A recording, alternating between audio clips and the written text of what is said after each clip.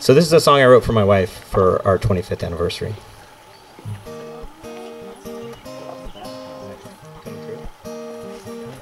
Can you guys hear the guitar?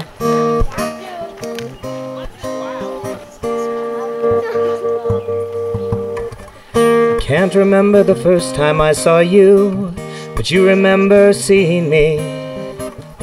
As metaphors go, that one's not half bad.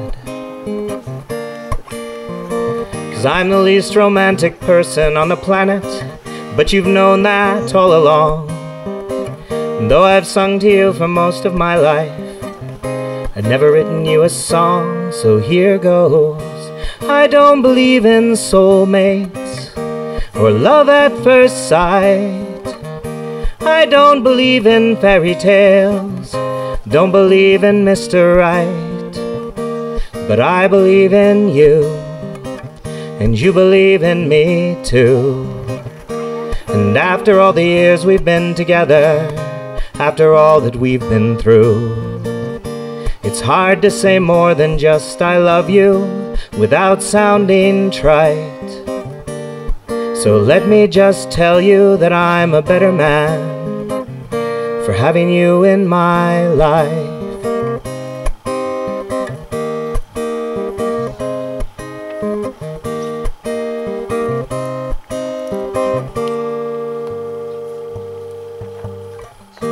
I never asked you to marry me. It sort of happened on its own. And you recall the only time I sent you flowers was when I'd left you all alone. But you were always fine without me, and I'd get by without you. It's not the way we choose to live our lives, but we both could muddle through. I wouldn't say our love was always meant to be, that would diminish what we've made. No, it's an edifice we've built throughout the years with the talking and the giving and the listening and the living, the commitment and the effort and the will to simply get there with the kissing and the crying and the choice we made in trying. We said, Here goes. So I don't believe in fairy tales or love at first sight. I don't believe in soulmates don't believe in Mr. Right, but I believe in you, and you believe in me too. And after all the years we've been together, after all that we've been through, it's hard to say more than just I love you without sounding trite.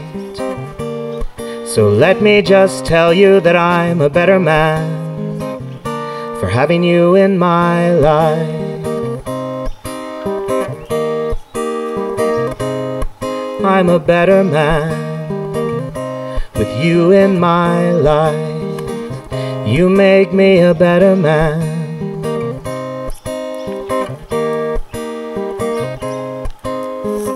And I'm the least romantic person in the world.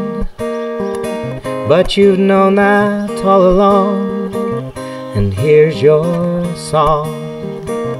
I'd never written you a song, but here's your song.